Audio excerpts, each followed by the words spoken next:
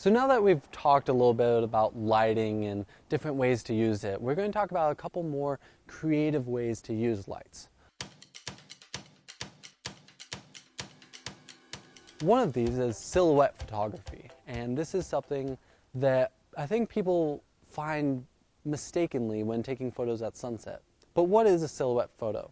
It's when you have your subject in between your main light source and your camera it's really that your camera is exposing to this light source opposed to your subject, but in that way, your subject becomes sort of a silhouetted outline, and it's a really cool effect. And the most common time that you see this is at sunset when you have someone looking off at this beautiful sky, and there's so much light coming from there that all you get is a black figure in your frame. And if you frame it correctly, if you use your composition skills, you can create some really nice images with this.